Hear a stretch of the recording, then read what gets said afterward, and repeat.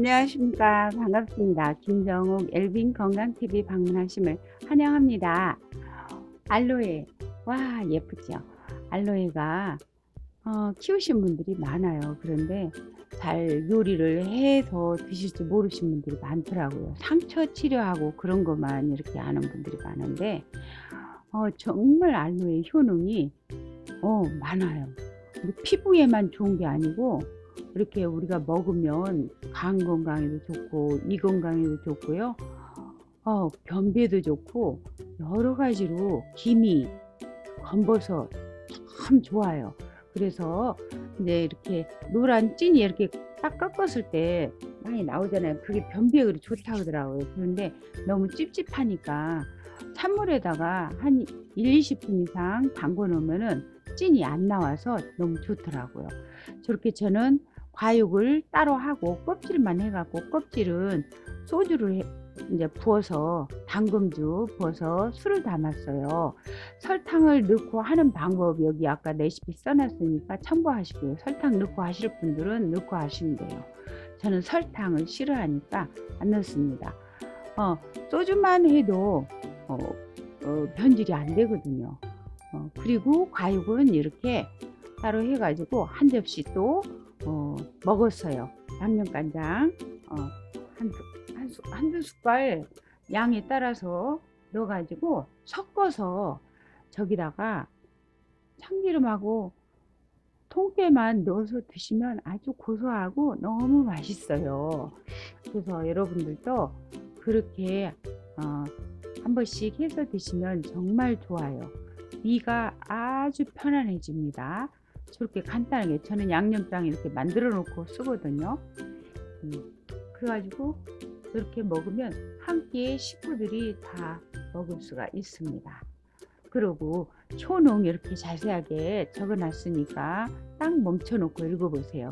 제가 이거 다 읽어주면서 하려면 한 20분 어, 가버리니까 어, 멈춰 놓고 읽어보시고 이거 드시는 느낌이 어떨 것 같아요. 저 이렇게 즙 있잖아요. 이렇게 찜 같은 거. 그게 음, 변비에 그렇게 좋다고 합니다. 변이 또 잘 나오고 어, 이장 건강에도 좋고 장 건강에도 아주 좋답니다. 어. 여기 이제 과육을 병에다가 저는 담아갖고 아예 담아가지고 갈았어요. 그러니까 아주 편리하더라고요. 다른 데다 담아서 가는 것보다 훨씬 낫겠더라고요. 그래갖고 갈아서 저기다가 바로 벌꿀을 넣어가지고 어 이제 만들었는데 제가 해보니까 어 저는 이걸 처음 만들어 봤거든요. 저렇게 해서 담으니까 어 양은요 제가 한 1대1 정도 넣었는데 꿀을 좀 덜 넣어도 돼요. 근데 설탕으로 다 이렇게 어, 알로에 청을 담더라고요. 설탕이 너무 싫어서 당, 뭐, 뭐, 설탕은 암세포가 너무 좋아한다 그러니까 안 넣고 꿀만 넣어서 했는데 꿀하고 올리고당하고 반반 넣어도 돼서 해도 되, 되거든요. 근데 저는 이제 꿀만 넣고 해봤어요. 왜냐하면 피부에도 이제 한 번씩 어, 한 스푼 해가지고 발리기도 하고 하려고. 그런데 요걸 걸르니까 이제 좀 찌개미가 나오잖아요. 그 찌개미를 어, 걸려서 버리면 안 되잖아요. 한번 먹어봤어요.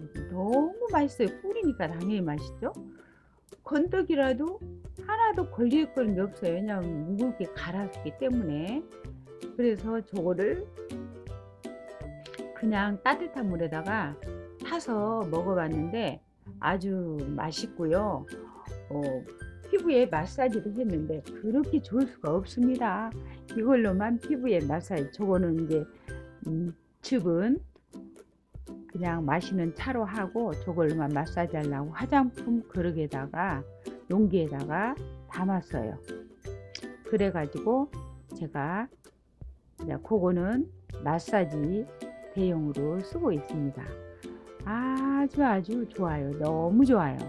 그래서 어, 이거 걸른 것은 이제 차로 어떻게 마시냐 어, 차로 마실 때 뜨거운 물에다가 타지 말고 따뜻한 물 이렇게 손에 마사지 바닥에 흘린 거 여즙이 많이 흘려서 얼굴하고 다 마사지 또 했어요.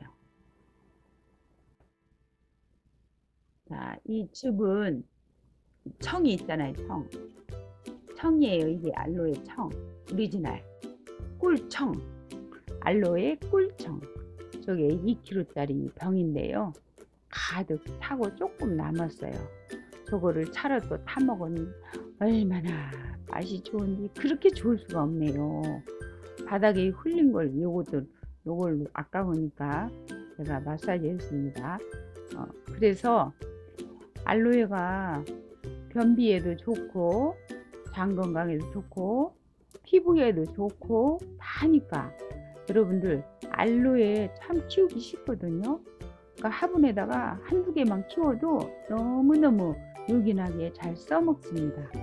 그래서 없는 분들은 키, 잘 키워서 한번 이렇게 새끼 이렇게 얻어서 사가지고 아, 뭐 꽃집에 가도 음, 뭐살 수 있고 그러잖아요. 사가서 저렇게 키우시면 재밌고 마사지를 가끔가다 하면 그렇게 또 행복할 수가 없어요. 이 차가 그렇게 맛있어요. 이렇게 또 어, 찌개미를 얼굴에다가 마사지 하는 거예요.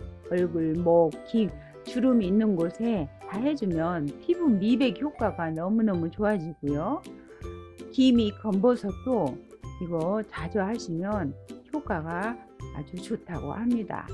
알로에 젤 있잖아요. 그것도 그렇게 좋잖아요. 미백 효과가 좋고 수분 이렇게 보습 효과도 좋고 그래서 꼭 어, 여러분들 알로에 있는 분들 잘 활용 못 하시는 분들 꼭 하시기 바랍니다.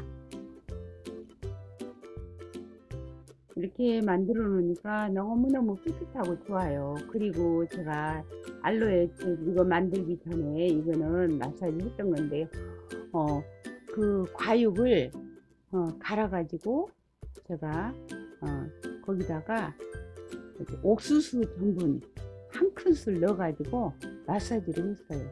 이렇게 해도 간단하게 할 때 너무너무 좋아요. 어, 그렇게 해가지고 하니까 피부가 아주 그냥 뽀해지는 느낌? 음, 그런 느낌.